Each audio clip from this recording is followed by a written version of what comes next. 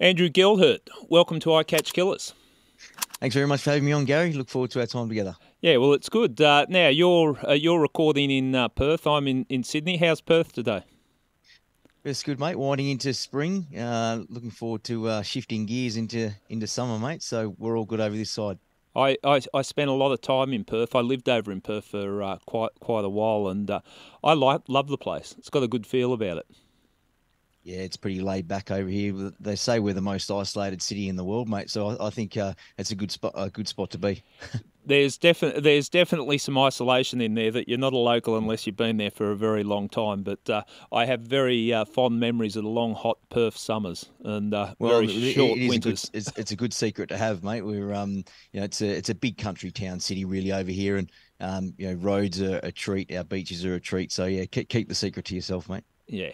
okay. Well, we won't uh, dis- discount what I've uh, what I've just said. That's right. Look, just jumping straight into it. Um, you know, you were shot in the chest and shot in the neck. You're lucky to still be here. You're a sniper in the army. You understand the damage that when metal hits flesh, what can be done. Do you consider yourself lucky to be here? Uh, it's a it's a running joke, Gary. It's uh, you, you, survive the army without being shot. You you get out of the army and get shot. So uh, there's one for you. But um, yeah, look, I do consider myself. I guess lucky is is a is a uh, is a term that we can use loosely, and I like to take the perspective that nothing happens for no reason. Uh, so I've made great sense of of of being shot, and and obviously uh, you know, I guess the circumstances that led to me being in that in that situation. Uh, lucky to survive, of course, being hit that high up in the chest and and once through my neck. So, um, you know, the gentleman that let fly that evening uh, let six shots go. I copped two. Um, the the guy next to me uh, copped one, and an innocent young lady in the night in the nightclub copped one in the back of the neck, but that was a ricochet um, off a off a cement pillar. So look, we're all lucky that night, lucky to be standing here. But again, it's a it's a it's a privilege and it's my passion now to articulate my journey um, and situations like that without being emotionally connected to them anymore. But yeah, I'm uh, I'm living a blessed life, Gary. Yeah, I understand what you're saying, and you're quite right. Ch- uh, checking the word uh, luck, it, it, sometimes it feels like fate, but uh, you you would have an appreciation that uh, you know half a centimetre this way or half a centimetre that way, it could have been the difference. It's uh, yeah, absolutely. I mean, laying there Gary, and my army training, I looked down at the at the bullet wound and it was it was bubbling from my chest. So I knew that my lung had been hit. So I placed my you know one side down to the ground, uh, knowing that you know there was a potential for my for my lungs to be filled with blood and that I would actually drown before I got to the hospital. So it's all the all the, the training did kick in and and, and certainly helped me um, on the on the evening. Uh, so yeah, uh, again, it was a it was a time where I did actually think, you know, is this the end for me? Uh, yeah. And I ended up blacking in and and, and blacking out, uh, and sort of thinking that, yeah, I guess this this was the moment. It's an eerie, peaceful feeling too uh, at that at that point in time, and I had a, a, number of surgeries to get through that, and yeah, I was lucky to come out the other side and and and be up and running, and touch wood, no no health concerns after it. So. Well, we're going to uh, take a deep dive into your life, but I imagine a, a, point in time like that, there's a lot of time for reflection, looking back and what might have been, and uh, all, that. But it, it, it's quite quite interesting. What I also find interesting, and we, we as I said, we're going to delve delve deeply into your life. But you've come from a uh, army environment, which is uh, very much about discipline, rules, regulations. You know, jump how high, yeah, that type of situation then you've uh, started to devil, uh, dabble, devil. It might have been the right word. I might have meant that. Mm-hmm. um, yeah. Dabble in the uh, dabble in the other side of it, and started to associate with outlaw motorcycle uh, gangs. And part of their their stick is that uh, we're rebels. We don't uh, we don't abide by society's norms. Can you um, see the difference in it and explain how you went from one to the other? Yeah, it's an interesting transition. But if we go back, um, you know, as a kid and living a fairly I guess I've always had that discipline in me and, and, and a drive, and always knew that I was a little bit different in that in those terms. So I was up training in the morning, and I had this this focus in terms of my sport um, and the um, just the way I handled myself and applied myself to sport, not so much school, but sport specifically. So I had that sense of discipline. And, you know, we moved 11 times uh, in the one town uh, when I was a kid. So uh, there was a little bit of um, non structure there. But for me to join the army was a savior at that time because I was, I, I, felt lost and, you know, my life had come to a point where I was, you know, I had a really bit of a dead end job. I had aspirations to be a pilot, but could never apply myself at school. So in joining the army, I, I really, I, I had a high level of success when I when I first got in there. Just the mental and physical yeah. discipline uh, and the structure, I really related to that, and it got the best out of me. Uh, so I achieved a lot in a very um, short space of time. Uh, you know, in terms of being selected, you know, for representative squads and and and really shining um, as a soldier. Uh, it wasn't until later on that you know I started to rebel against that discipline and that structure when I bought out. I was actually trying to get to the SAS uh, and they knocked me back, uh, not on my physical, but it was the first year that they'd introduced psychological testing, and I didn't meet that profile. Yeah. So once I lost the SAS dream, uh, uh, I was shortly after that application, I was sent to East Timor um, and did a, a four month stint over there as a, a, wave of the first soldiers that were to land on the ground. We actually handed over from the SAS. So once that dream was gone, and I'd done my overseas active duty uh, I just felt that I'd achieved everything in in that in the army, and I was the highest level achieving soldier that you could be outside of the SAS in my eyes. Yeah. And I now had active active service under my belt as well. Um, we operated on the East and West Timor border as a recon sniper patrol team um, in a highly you know, oh, it was um, a volatile time. It, it was. It was. Yeah. It was a very stressful environment. So yeah, coming home uh, after that period of time, I, I, got out fairly shortly thereafter, and had signs of PTSD, but again, like you've touched on, I revolted against the structure. So yeah. I was I was that rebel. I was my hair was let down. I was I was getting out. I was going home, and yeah. So there was that there was there was that time, and and obviously led to what you've touched on earlier. And uh, happy to dive into that too. Yeah, well, it's a it's certainly an interesting uh, interesting journey to uh, where you've uh, where you've got to uh, got to now. Um, you you touched on your childhood, moving uh, moving eleven times in seven years or, or whatever. I, I think you uh, you came from a uh, broken family. Your your parents uh, separated uh, at, at, an early age. Yeah, I was seven when my parents split up. Uh, yeah. It did have a profound effect on me. Mum went looking for love in all the wrong places. But yeah. look, I didn't have the worst childhood, Gary, compared to, to others. But you know, I, I, I listened to a renowned coach uh, in a in a seminar describe his trauma of his dad uh, berated him one time for having a go at hitting nails into a into a block of wood, uh, and he wanted to be like his dad, of course. And his dad ripped over after he hit his finger and just tore him to shreds. And that later on led to him feeling that you know he's had a really low self worth, and later on became suicidal, and then became this fairly renowned coach. And I was listening to him talk about that, and you know, it really made me understand that trauma and, and, our, and our childhood influence on our later life can't be, there's no comparison. It's just very relative. Yep. So I didn't have the worst childhood, but you know, when mum went looking for love in all the wrong places and led um, us as a family into, you know, family violence, and one particular man was a, a very violent um, alcoholic. Um, yeah. And I watched him traumatize mum, beat mum, and uh, after one night, uh, he they were arguing and screaming at each other. And I remember we were living in a very small, tiny three bedroom house, uh, and she screamed at him, um, "I wish you'd go and kill yourself." And we listened to the whole thing. I just heard him storm through the house and slam the back door. Yep. Um, and I knew obviously he's walking to the backyard, so I was looking out of my bedroom window from from my bed, and our our backyard was lit up by a street light um, just outside our back fence, so I could see everything he was doing, everything that was going on, and he went into the shed and grabbed a, a length of rope. Um, he scaled the woodyard um, and he strung himself up under the, a large ghost gum tree in our backyard. And um, I watched him hang himself. Um, you know, his body was swinging limp and uh, yep. went into um, fight or flight mode, screamed through the kitchen, yelling at mum, he's done it, he's done it.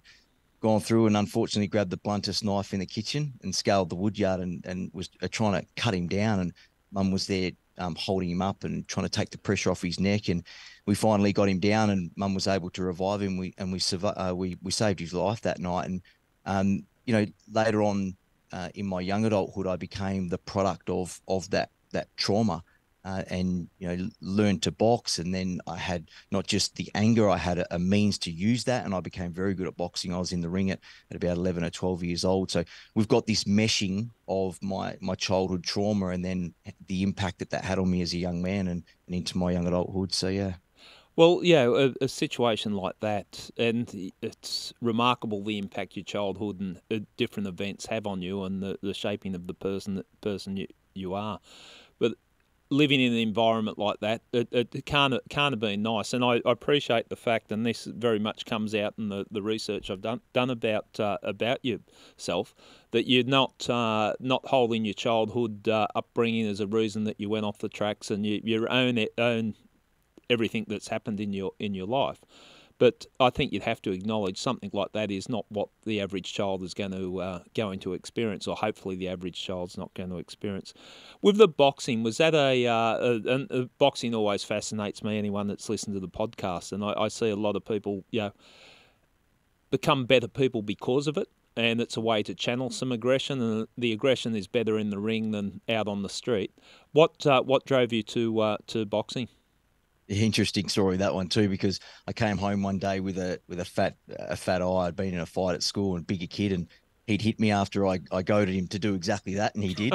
Uh, so that I came home with this. Yeah, that's right. Uh, learned the lesson the hard way on yeah. that occasion as well. But I came home, had this big fat black eye, and, and my my then stepfather said, "Well, what did you do about it, boy?" And I'm 11 year old kid. Uh, and uh, I said, well, he's bigger than me. I couldn't do anything about it. And he said, well, get in the car. And he's taking me down to the local PCYC and uh, and dropped me off. I've walked in and there's all you know, a room full of or a gym full of um, brilliant young Aboriginal kids. I was the only white guy there, and apart from the coach, and I've yep. sort of walked in timidly. Uh, and yeah, he took me under his wing. I, I described why I was there. Um, you know, being picked on and bullied at school because I was a, you know a bit of a smaller kid, but I was also a bit of a smart mouth as well. Um, but just didn't know how to handle that. So boxing uh, became something that I grabbed hold of tightly to be able to, I guess, not just control my own emotions, but to to use as a tool. Yeah. Uh, at school, and it became a tool for me later on in life. It was it was a way for me basically to talk. Um, and what I later realized is that was the projection of the anger and the emotion that I'd buried. Uh, and again, dissecting that was was a was a whole nother journey and understanding what I was doing and how I was using and applying boxing. But for me at the time, you know, he threw me in the ring very quickly because I, I was taking to it. And again, there was that discipline and that focus behind what I was doing. Yep. So boxing became a, a significant outlet for me. And unfortunately, I used it uh, for all the wrong reasons rather than to curtail my emotion and anger. It was a part of my projection uh, but again, I loved boxing, and it, and it was it was a, it was somewhat of a savior. Yeah. Um, but yeah, was, um, I I, great... I, see it as something that gives people that uh, if they haven't got much self worth, it gives a little bit of self worth. And yeah, you've you've just acknowledged you didn't use your skills in a, a good way. You probably used it the, for the the wrong thing. But I, I think it gives you a bit of a reflective outlook on that now at this stage of your life, looking back, that uh, yeah, uh, you can become a bully if you learn how to fight. But uh, you, I don't see you as a bully now. It might have been at one stage, but uh, so I think it plays a part in shaping the person that you become. Definitely, and looking back on on my journey with boxing, I mean, what would have come of me without that?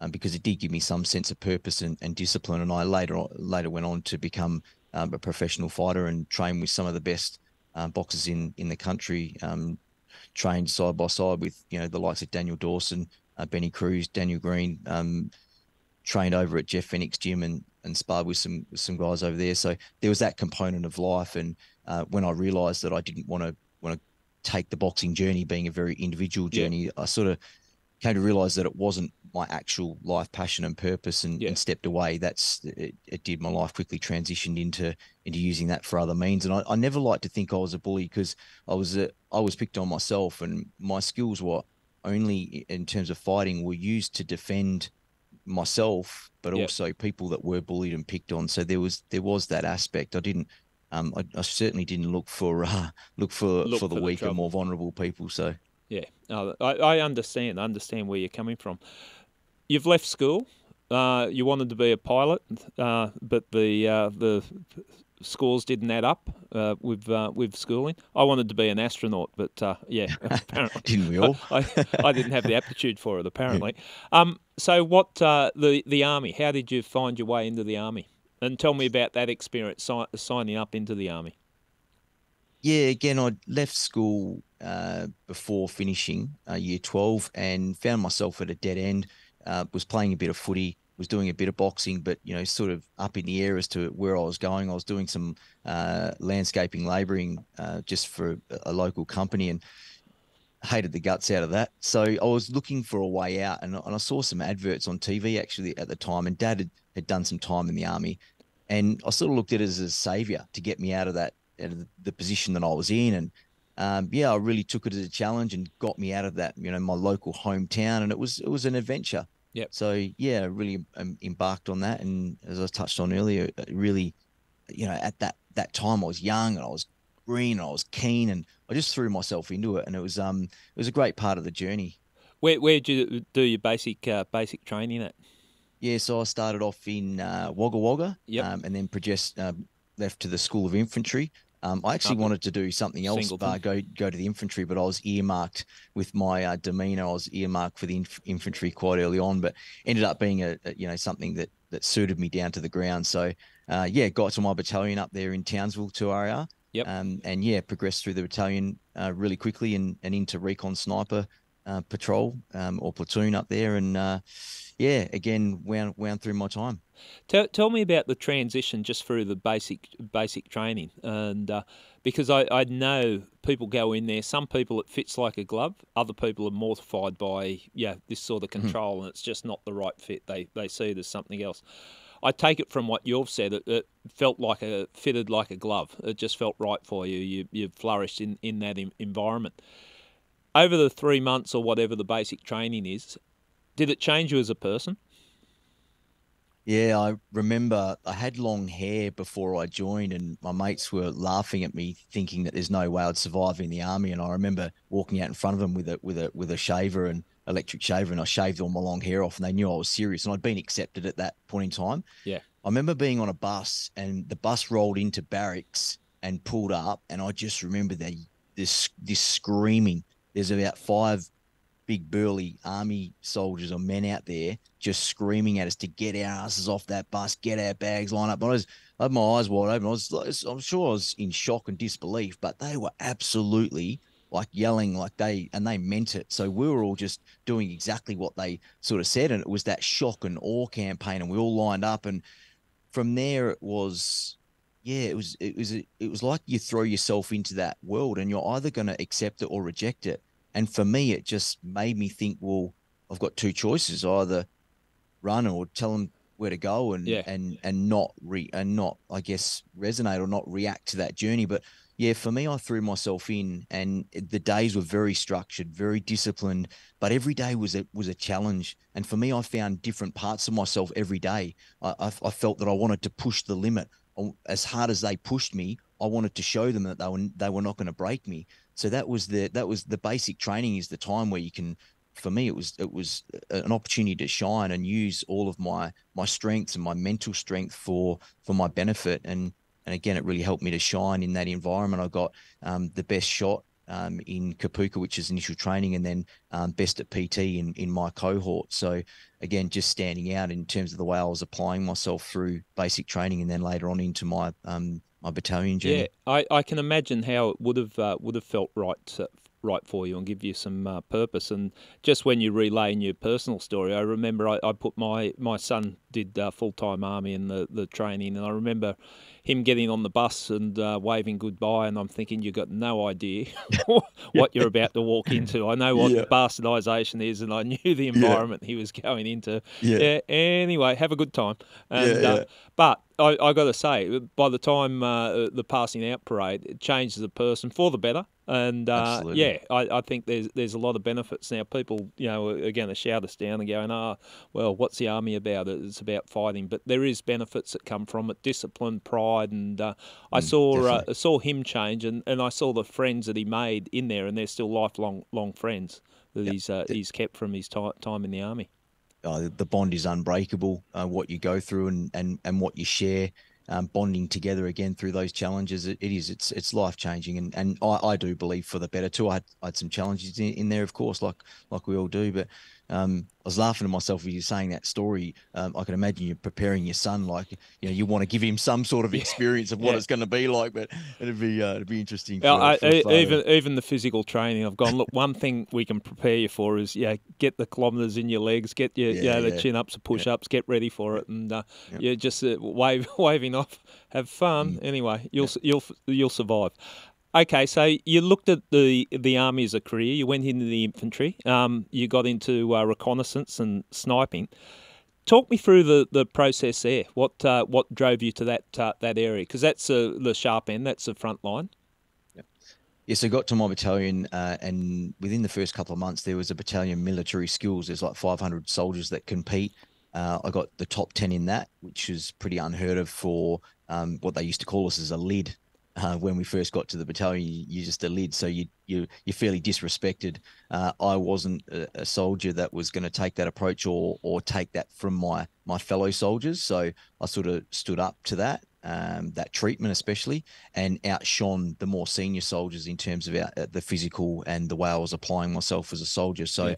um, I, I, shirked that um, that term fairly quickly. And I, I remember the first week that I arrived in my battalion, uh, they when when they get a new um, acceptance of new soldiers, they they give them a baptism of fire. We load our packs up. They don't think they're very fit. They haven't got what it takes, so they take them up the mountain at, at Townsville. And uh, we got up uh, in the morning. They said, "Pack your packs. We're going for a walk." And it was one of the first days I was there.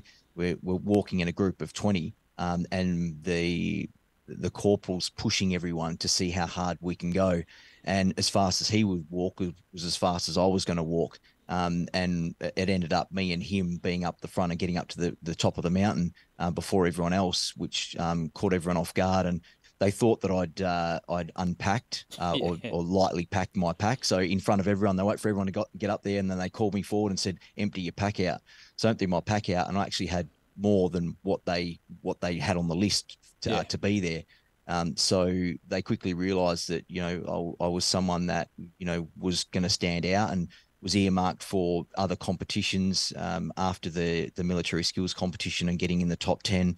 Um, there was a, um, a an a defence force wide competition called the Dog Squad, uh, where uh, you know you get to try out for a section of five or six guys from the the battalion, which would go away and be tested against other sections and other um, parts of the, the, the defence force. I was selected in that, selected in the battalion obstacle course. So, yeah, uh, uh, obviously that leads to being selected for the more, you know, tier one roles within the battalion. And for me, the, the, the tier one role was being a reconnaissance sniper soldier, which is the most highly trained and um, most highly disciplined a part of our battalion that that I aspired to. Uh, so yeah, I was I was I think I don't want to say that it still stands today, but I was one of the quickest soldiers to be picked to to be even to even get on the course, yeah. the recon sniper course, um, and then progressed into recon snipers um, fairly soon after. So yeah. So I, I would imagine, and, and talking through your career like that, that there's it has to give you a self a sense of self satisfaction. This is what I'm meant to do. This is what I'm capable of doing. And everyone, yeah, whether we, we acknowledge it or not, likes to be good at something and find find something that you're uh, you're good at. I I think in today's society, like it, it's interesting just talking through the processes of the army. It's competitive. It, it's competing against each other. It's pushing you to the point where you can break. I don't know. For what it's worth, I don't think that's a bad thing. I think it, it helps everyone um, that type of uh, that type of uh, pressure. Your thoughts? I, I, my perspective on that now is completely and utterly different. I'm very, very thankful that I had that experience because, again, every, uh, my perspective now is everything happens for a reason. What I've taken from that has has allowed me to, I guess, understand the components of myself and and be the fullest and you know complete expression of the man I was always born to become, and that was just a part of my journey. Um, the, in terms of the competition and and the more fundamental aspects of of using the army to curtail um, and and you know basically use war and violence to solve yeah. our issues. I, I have a you know we can dive into that, but I have a completely different perspective of that these days. However, yes, I do believe as an individual, it, it did allow me to build certain parts of my character um, and reinforce certain parts of my character that that was to set me up later and later on in life, and still do today. The, yeah. the the the, the way I understand discipline and how that allows me to be a full and complete expression of myself. Um, yeah, it, it, that's still the the components of my life that I live with today and still apply. Uh, so yeah, I, I, there's absolutely con- components of that experience that that are highly positive. Yeah. Um, on the issue of uh, you're trained to become a sniper, if if you get deployed, if you use your skills, you you basically uh, you're going to be uh, killing someone. Yeah, that that's uh, that's the the role invariably of, of, a sniper. Did you reconcile that in your own mind? What what you were signing up for?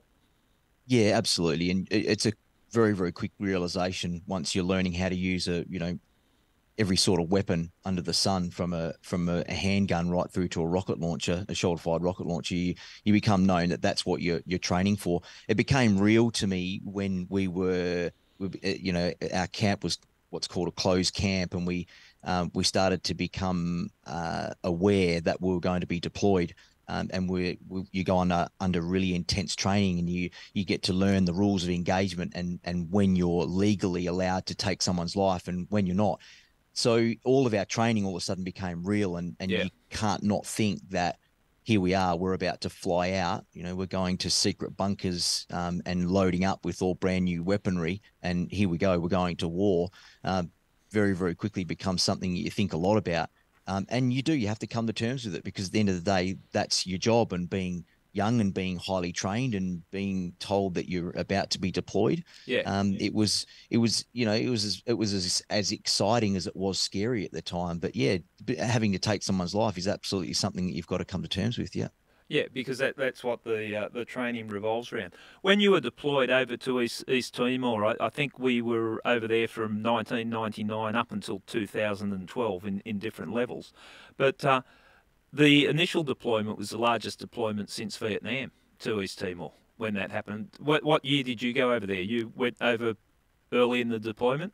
That's right. We were the first soldiers um, on the ground. Uh, we handed over from the SAS. Uh, there was a notice we, from the government that you know obviously Australia was going to get involved, and then we uh, we had a closed camp, so everyone you know you, some guys would live off off base. Uh, for me, I was living um, on base, so they closed camp, and we started to watch very closely um, the unfolding of, of what was happening over there. And um, we got the notice that we were getting prepared to move, um, and then got shipped up to Darwin and, and, armed to the teeth with what we were going to get deployed with. And when they hit the green light, we were we were gone. So we were the first again. We were the first soldiers over there. So um, again, it, it was it was a significant uh, decision that we knew by our government because we had at the time John Howard came to our base and said, "Look, you guys are you guys are off. Um, we we wish you luck with the deployment." And we were deployed under what was called war a warlike situation. So it wasn't peacekeeping; it transitioned to peacekeeping yeah. um, later on down the track. But it, we were we were told this is a warlike situation, and the the situation that we're, we're prepared for was that if Indonesia didn't like us to be in their com- in their country, then it was the Indonesians that we're going to go to war with. Um, and through the sights of every single one of our rifles, we had the pressure of knowing that if we were to take an Indonesian soldier's life and be under threat from them, that it could end up in in war, basically. So yeah, there was there was a lot of pressure, but we were, again we were highly trained and we were um, we were ready to do what we had to do. But it is there, there's so many aspects to it. How old were you at the time? Yeah, I was um, 19 when I got deployed. you look you look back now and you think what a kid you were, how naive you were, and there you are at 19 in a precious situation like that with, uh, and you didn't really know what you were going to walk into. At, uh, no. the East Timor situation with Indonesia, and it really was a powder keg, and I think everyone was looking at it with uh, with trepidation about what would what would happen there. So you've you've in the army, you've been trained up for this, then you've got deployed into a conflict zone like that. What was that experience like? Yeah, so getting on the ground, a lot of lot of buildings burning, uh, and for us as recon sniper, we wanted to secure the uh, the the landing zone. We we did that. Uh, as soon as the rest of our, our battalion flew in, we were shipped off um, to the east and west Timor border to secure the border from where the the TNI, which were the Indonesian militia, were coming over to to um, you know, rape, pillage, and murder the local East Timorese. So we were on the front edge, and it, our our um, our motto was "Fall to the um, fall to the forward edge of the battle area," uh, which is where we were. So we got into hives, we we hid, uh, we tracked, um, and we tried to locate and and stop these um, the TNI coming over the border. And there was many times where we caught them doing so. Uh, and for me personally, my journey was that we thumped our safety catches off a, a number of times and were prepared to kill uh, and issued warnings uh, and came very very close. Uh, one particular time, the TNI were coming down as a patrol, um, and one of our guys was spotted in in a creek bed. Um, and they turned and ran, and we were seconds away from being given the order to open up. We're just waiting for them all to come into the creek bed. Uh, and for me personally, it was almost like, and I don't, I don't want anyone to judge this because I've had to go through this thought process, but in not actually releasing bullets, and even if it took a life or not, it didn't matter. But being wound up to that point so often on the border, um, and being so isolated and having so much pressure to take that shot and waiting for that for the for the call to open fire and and actually not doing it it's almost like for 4 months we we lived in a constant state of anxiety without having that release uh, and yeah when i got home it, it did it had a profound effect on me and i realized later on just how wound up i'd i'd become and and you know i was already a fairly angry anxious kid and now here I was being put in this situation and and having no release. So being dumped home on the other side and there being no transition back into what is normal life, it, it really did had had a, a profound effect on me.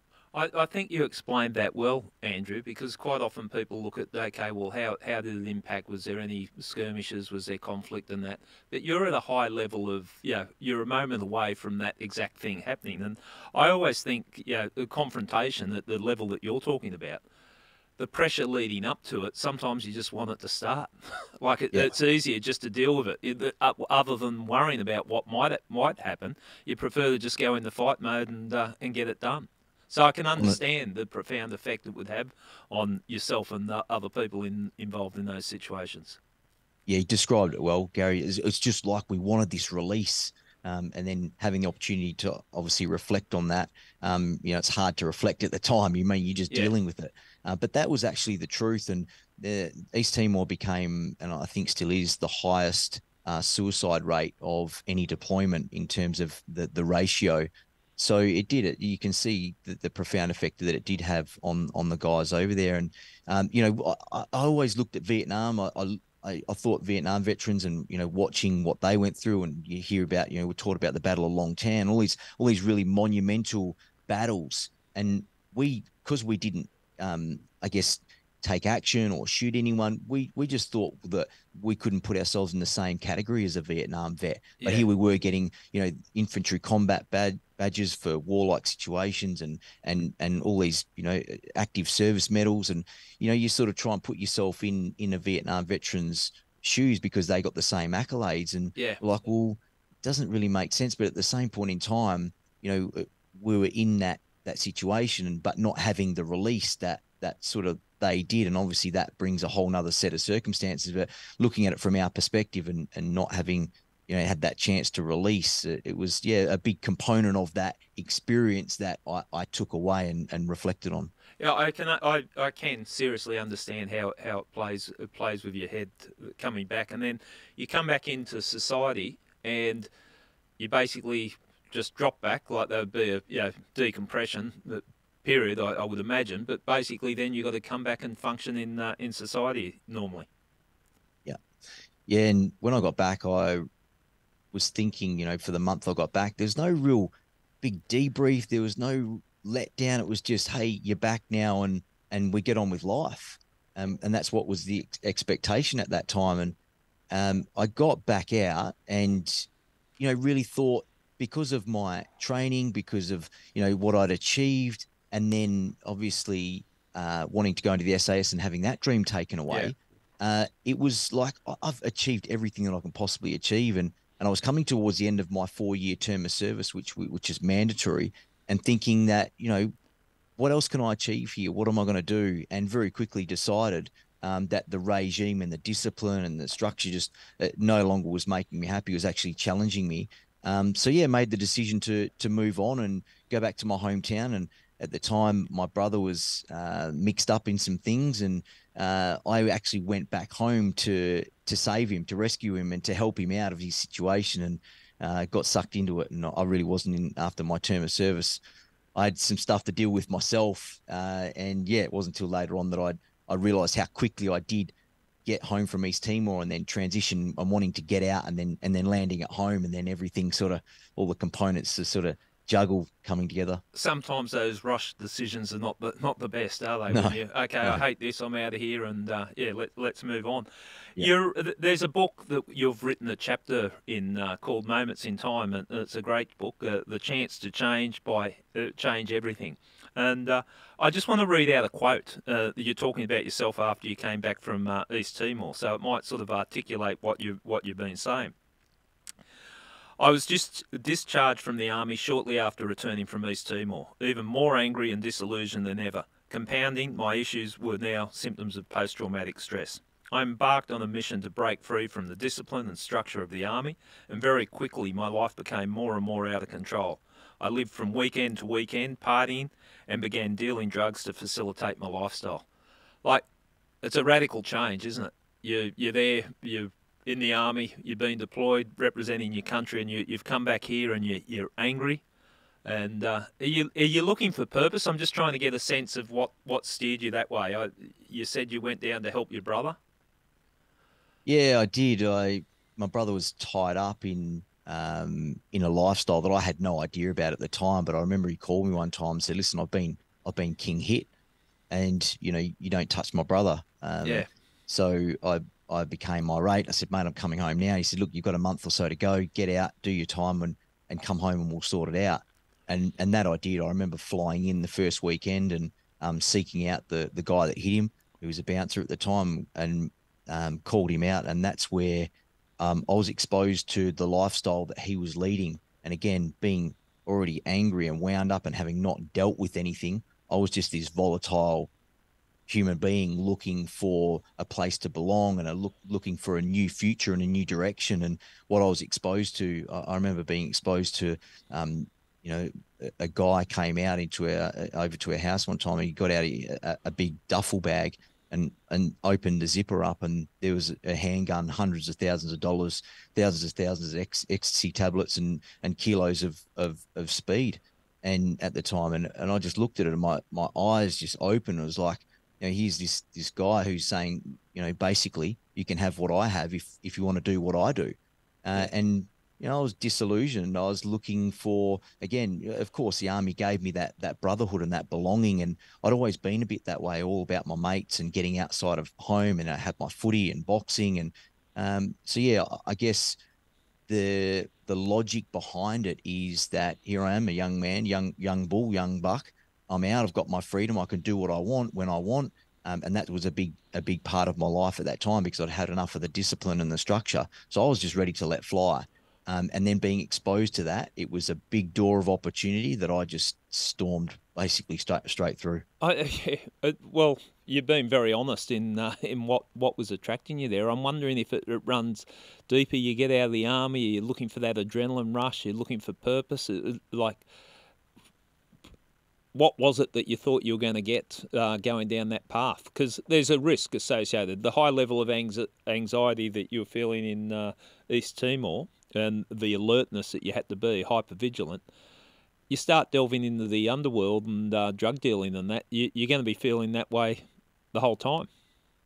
Well, that's exactly right. And uh, for me, living on the edge because I'd just come out of uh, you know the back of East Timor and all my training, and and it was to me it was it was normal to some degree. So it, it, it was an attraction. It was it was basically a, another means that I could continue living life on the edge and seek that next thrill um, and match the emotion that I was feeling inside. And uh, yeah, it did. It was it was it was an attractive lifestyle to me at, at that time. Did uh, anyone close to you, like your your brother, was in that world? But th- was there anyone, friends or uh, relatives, anyone that sort of gave you a tap on the shoulder and said, "Mate, what are you doing?" Absolutely. My my dad, you know, he's a very very uh, staunch advocate for working hard, and we've got three generations of of family in Collie, and you know we we built basically the, the, the southwest we had one of the biggest engineering businesses at the time and our family is entrenched in and you know in its reputation for what we've been able to achieve so for what i did and, and the direction that i took had a, had a great impact on on him and his his beliefs about what I should and shouldn't be doing with my life. And you know, he he he did everything he possibly could to try and let me know that you know he wasn't going to support that journey and and that I should make different different decisions for myself. Absolutely. Um, outside of dad, there was, you know, mum was going to love me either way anyway. Um, but really, I didn't have any other male role models in my life, and uh, unfortunately, even even dad, you know, when mum and dad broke up, we I don't see him every yeah. you know couple of weeks, and then uh, we're lucky if even if that. So really, it was it was just me kicking my own tin down the road, so to speak, and and you know my decisions were my decisions, and I was I was comfortable and happy making them my way because I that's the way it always was for me since the age of a boy. Do you think anyone could have made a difference to you at that stage, or, or was it virtually a path you had to you had to learn your lessons the hard way? No, look, there was a couple of times where I veered off and, and tried to break away from the lifestyle. I, I, moved up north and got a job and tried to assess the situation because I knew it was sucking me in fairly deeply. I had a chance to reflect. And there was another time where I, I took my passion for flying and um, was uh, went on a, um, a a joy flight in a MiG fighter jet, and the the pilot said, "Look, if I can get you, if I if I if I can't get you to pass out, I'll give you a free flight in my my dogfighting um, little jet trainers. And he um, he couldn't get me to pass out, so went for a fly in the in the jet trainers. And he said, "Mate, you you you need to be flying." He said, "I want you to come with me."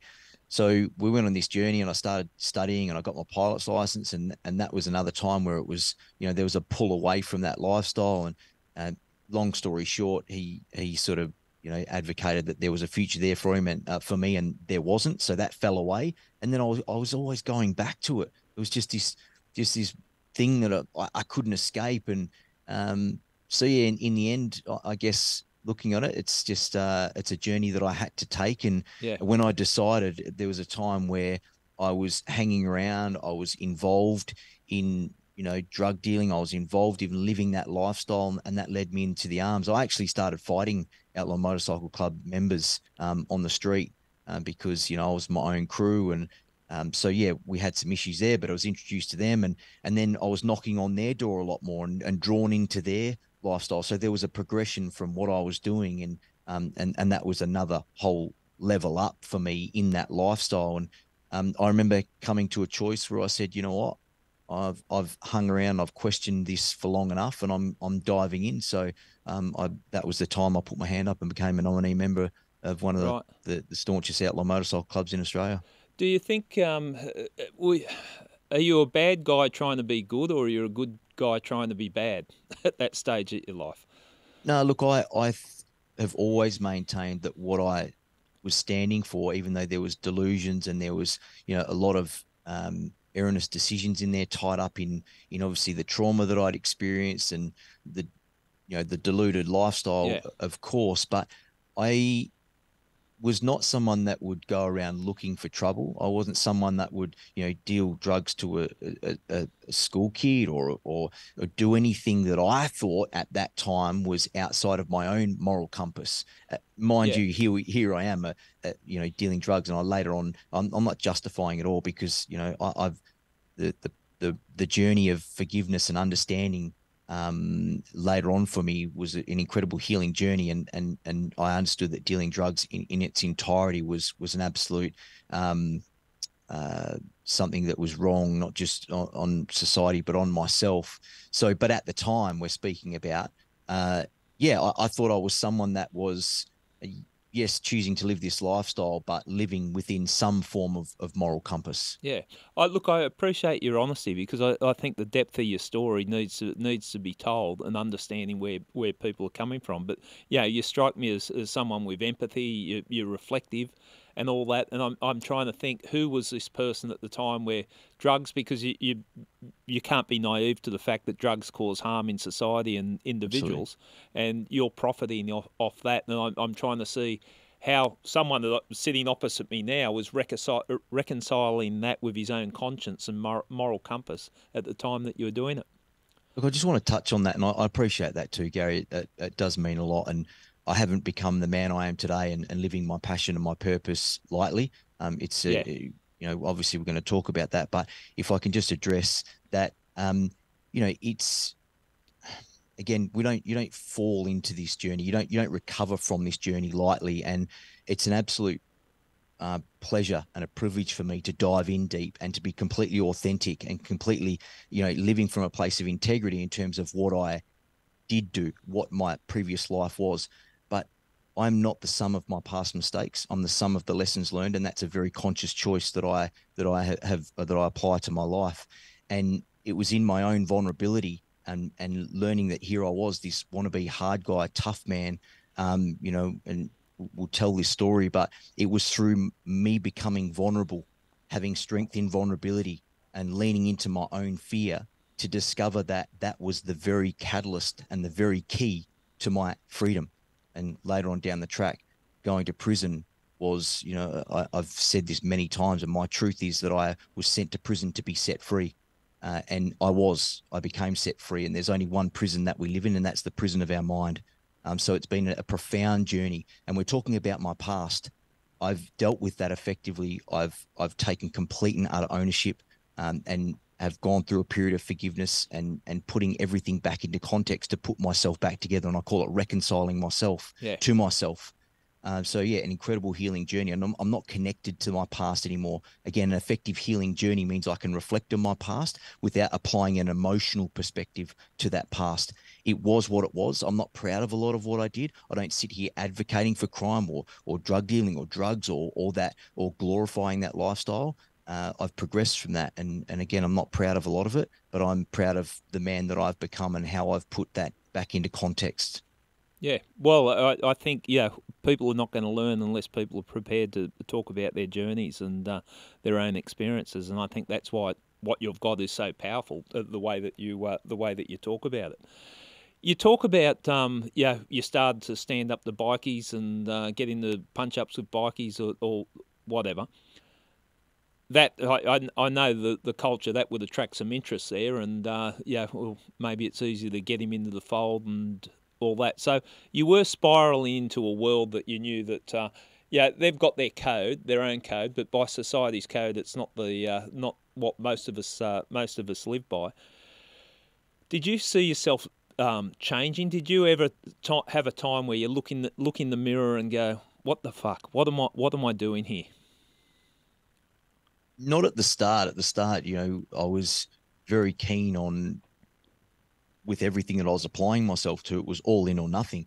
So for me, I wanted to become a, a leader in that area, and I wanted to exact my own, uh, I guess, leadership and my own application of that lifestyle um, to the people around me. Uh, and I'd always been looked at um, by my peer group as as a leader and, and the go to and the problem solver. So for me, I found myself being in that position again. And uh, I had to start again, obviously, when I progressed into into the outlaw motorcycle club scene.